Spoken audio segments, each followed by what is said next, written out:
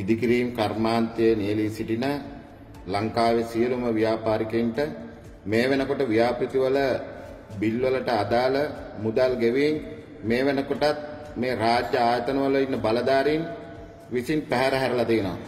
මේකට සම්පූර්ණ වගකීම බාර ගන්න ඕනේ මේ මුදල් අමාත්‍යාංශය.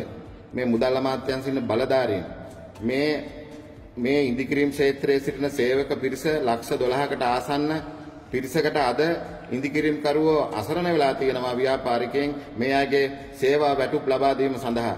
නමුත් අපිට මේ සේවා වැටුප් ලබා දීම සඳහා අදාළ රාජ්‍යාංශයන් වලින් මුදල් ලබා දිය යුතුයි. මේ මුදල් ලබා දෙන්නේ නැහැ.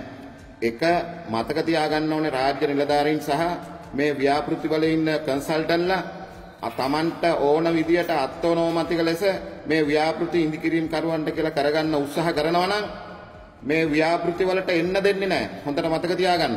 ඒක හොඳට මතක තියාගන්න. දැන් දැන් අමාත්‍යංශ මට්ටමින් කරන විදේශ ආධාරය යටතේ වර්ල්ඩ් බැංකුව ආධාරය යටතේ කරන ව්‍යාපෘති තියෙනවා. මේ ව්‍යාපෘති ඉදිකිරීම් කරුවන්ට කරන්න බැරි වෙලා තියෙන්නේ මේ ව්‍යාපෘති වල ඉන්න කන්සල්ටන්ලා නිසා.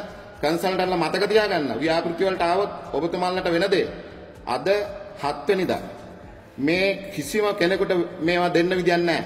ජොන්ස්ටන් පාර්ලිමේන්තුව තුල ඉඳගෙන බෙරිහන් දෙනවා. මේ රෝඩ් කිලෝමීටර් ලක්ෂ ව්‍යාපෘතිය එක සත පහක් ගෙවන්න බැරි වෙලා තියෙනවා. අදට අවුස්ට්‍රේලියාවෙන් බිලියන 56ක් උත්තර දෙනවා එළියට ඇවිල්ලා. මේක මහා විකාරයක්.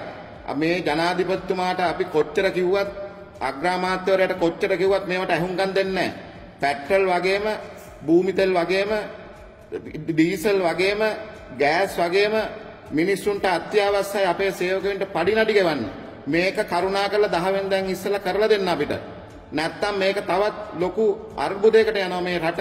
ඒ නිසා අපි බලධාරීන්ගෙන් ඉල්ලා හිටින්නේ මේකට ඉතා ඉක්මනින් මැදිහත් වෙලා ඔබතුමාලගේ අවශ්‍ය කටයුතු සඳහා සල්ලි අච්චු ගහලා දෙනවා නම් මේ සංවර්ධන කටයුතු ක්‍රියාත්මක වෙන මේ මිනිස්සුන්ගේ බැංකුවල තියෙන ඕඩි ණය ගෙවා ගන්න ලීසින් ගෙවා ගන්න බැරුව ඉන්න මේ රටේ ඉන්දිකිරීම ව්‍යාපෘතිය වල නියැලී සිටින මේ ව්‍යාපාරිකයින්ගේ අඩු ගන්න සල්ලි අච්චු ගහලා හරි දෙනවකෝ ඔකේ ඉන්න එකෙක් ඉන්නවනම් කරුණාකරලා එළියට ඇවිල්ලා. මේක මහා අපරාධයක් මේ රටට කරන්නේ. මේ රටේ හොඳට මතක තියාගන්න මං වගකීමෙන් කියනවා ඉදිරියේදී අපේ රුපියල් වලට තැනක් එන්නේ නැහැ අපිට පාවිච්චි කරන්න වෙන්නේ ඉදිරියේදී ඉන්දියන් රුපියල් කියන එක මේ බලධාරීන් දැනගන්න ඕනේ. The News Reporter. වාරණයෙන් තොර අපක්ෂපාතී වාර්තාකරණය.